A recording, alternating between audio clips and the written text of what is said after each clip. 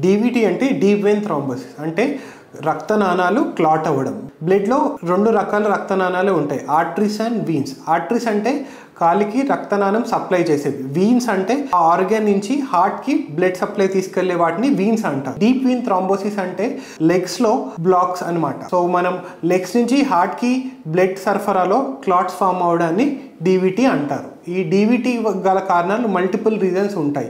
But main thing ఏంటి అంటే దీన్ని ఎంత ఫాస్ట్గా ట్రీట్ చేయగలము అనేది ఇంపార్టెంట్ మెయిన్ కాంప్లికేషన్ దీని వల్ల ట్రీట్ చేయకపోతే ఏమవుతుందంటే ఈ క్లాట్ ఏదైతే లెగ్స్లో ఉందో అది లంగ్స్కి వెళ్తుంది. లంగ్స్కి వెళ్ళి అక్కడ సర్క్యులేషన్ అనేది డిస్టర్బ్ చేస్తుంది. దీనివల్ల పేషెంట్కి కాంప్లికేషన్స్ అనేవి ఉంటాయి. ఇవి రాకుండా ఉండడానికి అంటే మనం ఎంత త్వరగా ఈ క్లాట్ని తీసివేస్తే అంత రిజల్ట్స్ అనేవి మంచిగా ఉంటాయి. ఇంటర్వేషనల్ రేడియాలజీ ద్వారా ఏమిటి అంటే మనకి మెయిన్ ఇమేజింగ్ మొడాలిటీస్ యూస్ చేసుకొని మనం క్లాట్ ఎక్కడ ఉందని డయాగ్నోస్ చేయగలం. ఆ డయాగ్నోసిస్ తర్వాత ఆ క్లాట్ని తీయడానికి ఏదైనా థ్రాంబెక్టమీ అంటే మాన్యువల్గా వెళ్ళి రక్తనాళాల్లో క్లాట్ అనేది తీస్తాం. ఇది ఏదర్ స్మాల్ ఇన్సిషన్ మనం చేతి నుంచి కానీ లేకపోతే తొడ నుంచి కానీ ఒక less than one centimeter incision ద్వారా ఆ రక్తనాళం కి యాక్సెస్ చేసుకొని దాన్ని మాన్యువల్గా తీసేస్తాం. ఒకవేళ రాని పక్షంలో క్లాట్ బస్టర్స్ అనే డ్రగ్స్ని లోకల్గా ఎక్కడైతే క్లాట్ ఉందో అక్కడికి ఇంజెక్ట్ చేస్తాం. దానివల్ల క్లాట్ అనేది మెల్లమెల్లగా బ్రేక్ అవుతుంది. So these are the interventional radiology options